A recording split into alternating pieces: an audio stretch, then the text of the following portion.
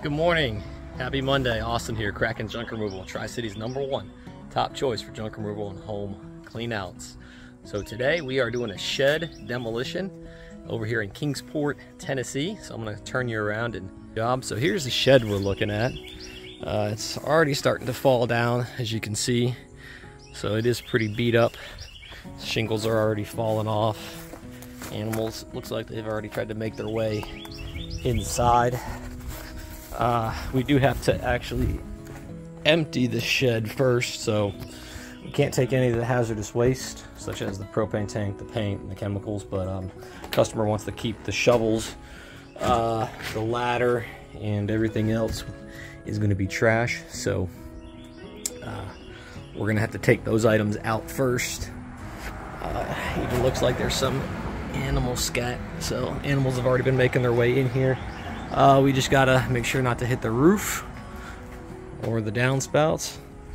But over here should be pretty clear. So don't have to really worry about anything there. But overall should be pretty straightforward. Uh, easy job. Let's go ahead and see how long this shed is. Uh, it looks like it's maybe 12 feet, I don't know, three, four inches or so. Right, if we measure where the shed actually ends, let's see the width of this. We're at about 106.5, almost 107 inches. let's go ahead and measure the height of the shed. Uh, so we're at the peak. Uh, let's see. I have this little stone that I'm on. So it looks like it's at about 90, uh, about 100 inches to this stone slab. Maybe another inch. So about, because it's on the ground, so you're probably about 100 inches uh, in height. So that puts this at roughly 33 cubic yards. So given the shape and the condition that it's in, you can already see it falling apart. Let me know uh, how much would you charge to demo, uh, haul away and dispose of all the items here. A lot of them in the shed and the shed itself would all be going to the landfill. So let me know how much you guys would charge for this. Got most of the shed already cleared out. Uh, I'm gonna keep these racks. They look like they're in pretty good condition. And if you remember that last job I did, I scored those fishing poles. Customer says she doesn't want these tackle boxes. And uh, they look to be full of some decent stuff too. Uh, that one's actually a nice little tackle box. This one looks like it's full, so man, I guess when I'm not working, I'm gonna be doing a lot of fishing, hopefully. Yep, busting out the side panels, as you can see. I'm gonna leave the frame intact. Do the roof next after we get these side panels out. Shouldn't be too long though. Doing a good job. Got most of the side walls already out. We got Daniel on the inside busting out rest of this roof.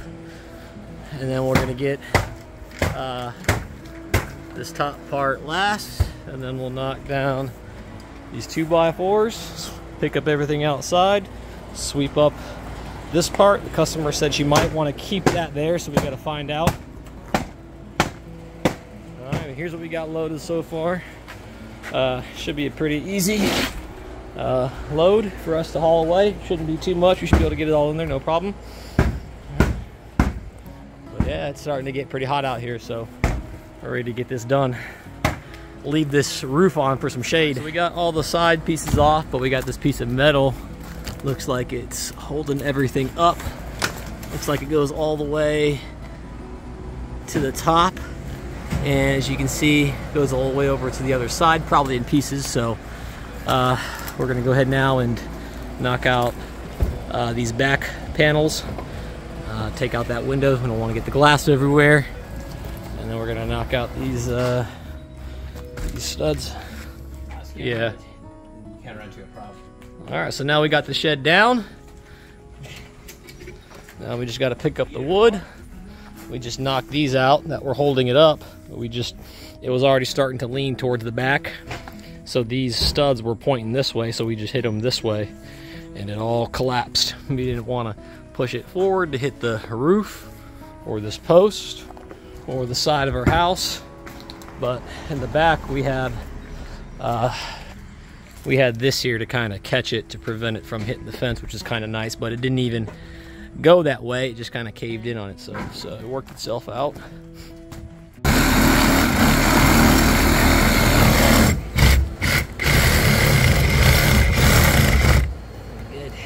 So now we just got to cut the deck of the shed.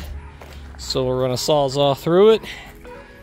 But here's what it looks like underneath. So you can see there's the electricity right through, right into the ground. All right, we are all finished. The shed is no longer there. We got it all loaded up. We took off the base and everything as you saw. So here's all the shed that was once over here is now in here. And swing you around this side. Can see here, we're able to fit it all in here. So, all right, well, another happy customer served by Kraken Junk Removal.